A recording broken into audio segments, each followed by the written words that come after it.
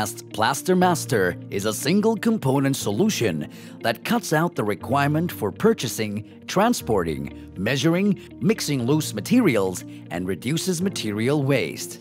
It's a proprietary technology designed to increase labor efficiency and consistency in the final wall finish. That smooth finish of Tokyo Supercast Regular Plaster Master is ideal for internal walls and waterproofing agents of Tokyo Supercast Weather Shield makes it ideal for external walls, saving cost on additional weather shield coatings. Let's look at how to prepare Tokyo Supercast White Plaster Master for manual application. These are the tools you will need. A bucket, a machine mixer, a mason's trowel or a Japanese float, a straight edge, a plumb bob.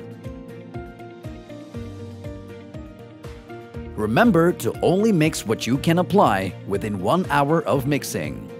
Here's how you manually mix Tokyo Supercast Plaster Master. First, pour 3.25 liters of clean water into a bucket.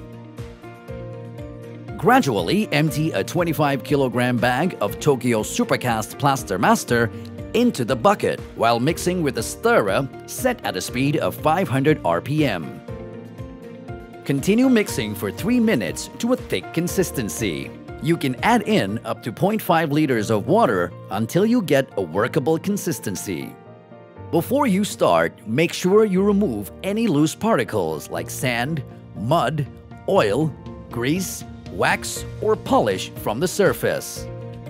Now apply Tokyo Supercast on the dry surface of your wall using a mason's trowel or a Japanese float. Push the Japanese float or trowel upward to spread the plaster. Use the straight edge level to create an even plaster surface.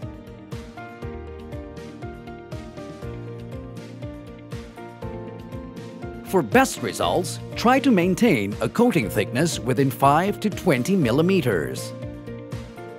After 24 hours, saturate the plaster with water for 3 days. After 10 days to 2 weeks, you've got that smooth plastered finish that's ready to skim coat or putty. After the first 3 millimeter putty coat, for the best finish, do another coat after letting it set for 8 hours. And now, you've got that perfectly finished wall you've been waiting for. Tokyo Supercast Plaster Master. Do it right the first time.